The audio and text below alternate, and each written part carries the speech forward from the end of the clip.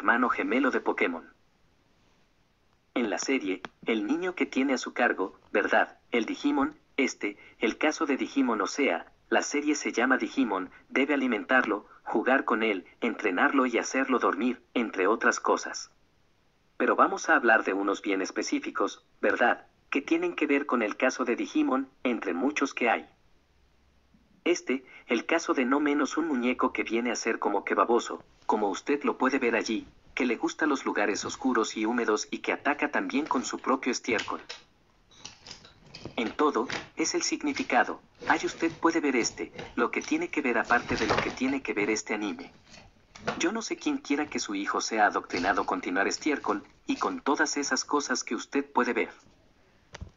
Eso es algo bastante de lo que podemos decir muy alarmante porque imagínense entonces este otro que usted puede ver ahí se llama Mancebón, que tiene la apariencia de oso y es supuestamente guardián, o sea, a modelo juguetes. Él dice, soy ama y guardián de los juguetes, o sea, que ahora parece que los niños van a ser juguetes de los juguetes.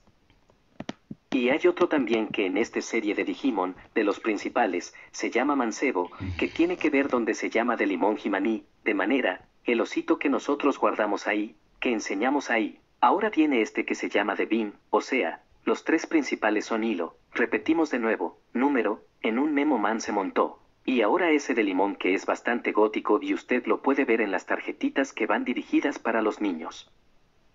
¿Por qué es importante cuidar de sus niños? Yo les voy a explicar, y ahora vámonos un poco ya al contexto bíblico.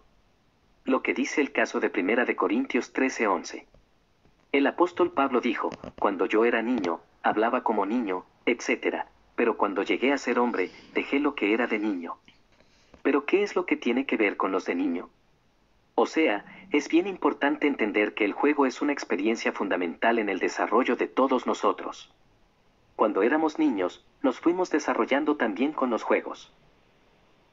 La naturaleza de los juegos es lo que va a contribuir grandemente en determinar la forma en la que el niño va a hacer la realidad de la vida en el presente o va a hacer la realidad de la vida en su vida en el presente en el futuro. Por eso, es que usted, como mamá y como papá, debe estar pendiente, qué es lo que usted le va a comprar para que juegue, qué es lo que ve en la televisión. Yo sé que los niños a veces, ¿verdad?, dan un poquito de trabajo, pero imagínense salir del paso de ellos para ponerle la primera basura que está en la televisión o comprarle el primer juguete porque le gusta. ¿Quién domina más en la casa, usted o el nene? Siéntese con ellos y explíqueles por qué de las cosas, o sea, es responsabilidad del padre diario y facilitar los juegos y juguetes necesarios para que el niño crezca en su desarrollo positivo. Esto es más profundo de lo que muchos creen, por eso, es que se dice madre y padre, no solamente por poner un ejemplo, madre no es solamente la que da luz, sino la que cría, padres no es solamente el que engendra, sino el que cría, criar bien. Hacer algo bastante complejo y de eso Dios nos llama cuenta, o sea, los niños a través de los juguetes viven su fantasía a veces sin distinguir entre la fantasía y la realidad, o sea, que ahí lo podemos ver. Vamos nuevamente ahí, estas imágenes sobre el caso de Digimon. En este caso, pues, podemos hablar que la televisión tiene la culpa, ya que los muñequitos y los programas de niños cautivan la atención del niño y, generalmente en algunos, no en todo, ¿verdad? Pero de estos animes que cautivan la atención del niño, van a pedir juguetes a los padres, y los padres tienen que tener la sabiduría para comprar los juguetes a los niños. Las cartas en el caso de Digimon. Lo que muchos han llegado a la conclusión de dónde viene el nombre de Pokémon y de dónde viene el nombre de Digimon. Muchos han dicho que tiene que decir porque dimos demonio de bolsillo. Digimon Digital Daman demonio digital. Muchos dicen que es Pocket Monster, pero por lo menos la intención de hacerlo así en el idioma inglés como que se aproxima un poco más a eso de por qué timón en el español demonio de voz de bolsillo o dijimos demonio digital. Lo que se puede analizar es que cuanto más pervertido sea, más fuerte será. No está mal jugar con insectos venenosos y dejarlos que vivan en tu cuerpo. Cuanto más borracho estés, más fácil será matar a tu mejor amigo. Mejora tu visión, como venimos diciendo, no lo dice directamente, pero sí que trae el mensaje. Clavar un puñal en la mano o clavarse un puñal en la mano es la mejor forma de sellar un juramento. Y las mujeres con más de 50 años con pechos enormes son las más atractivas. Maltratar a las niñas débiles te convierte en un genio. No tienes que ser Jesús para poder caminar sobre las aguas.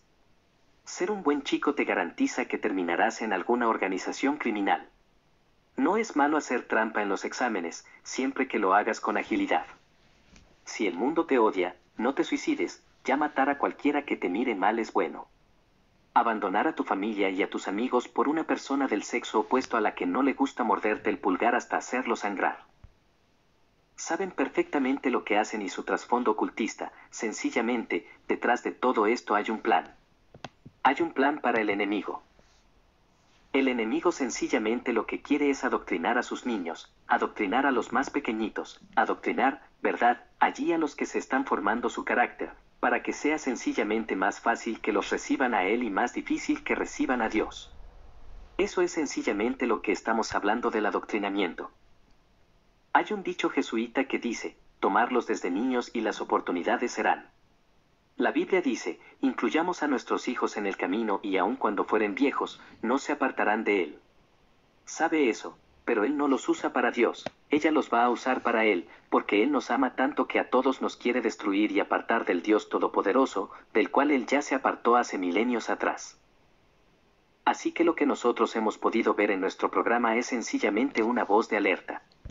Aquí no estamos con fanatismo y decir que todo es del no, pero lo que es del es del, y lo que podemos ver e identificar como cosas que no edifican y que van a llevar de la mano a nuestros hijos al ocultismo. Dele me gusta al video, compártalo y suscríbase, para abrir los ojos de aquellos que están en la oscuridad.